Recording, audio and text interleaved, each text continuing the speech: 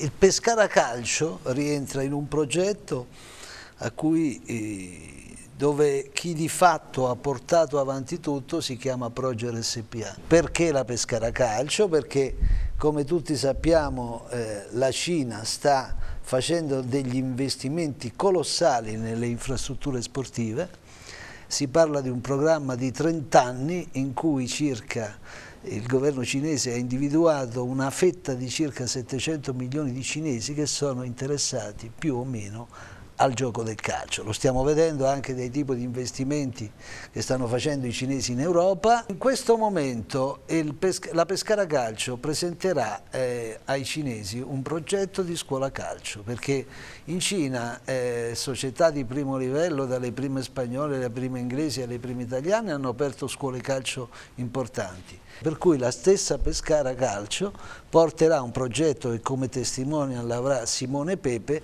per aprire appunto una eh, scuola calcio nel, nella provincia del Fujiang. Ci sarà un'opportunità per la Pescara Calcio? Io mm, me lo auguro, starà alla società a cogliere l'occasione di queste importanti relazioni, la Camera di Commercio di Pescara firmerà con eh, la Camera di Commercio del Fujiang eh, un protocollo d'intesa.